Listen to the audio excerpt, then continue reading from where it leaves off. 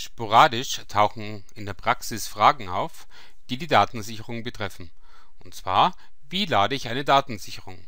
Das Laden einer Datensicherung ist relativ einfach. Sie klicken auf Datensicherung und sagen Nun, klicken eine Datensicherung an und sagen Lade Datensicherung von einem bestimmten Tag.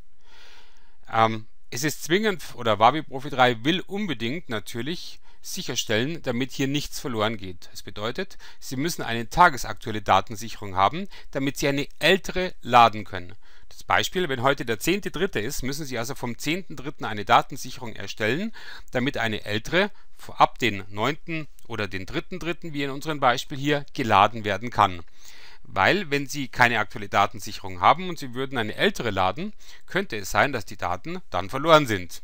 Deswegen stellt Wavi Profi 3 intern sicher, damit Sie wirklich nur dann eine Datensicherung machen können, wenn Sie eine aktuelle haben. So, wo liegen die Datensicherungen? Die Datensicherungen sind im Installationsordner Wavi-Profi 3 Backup.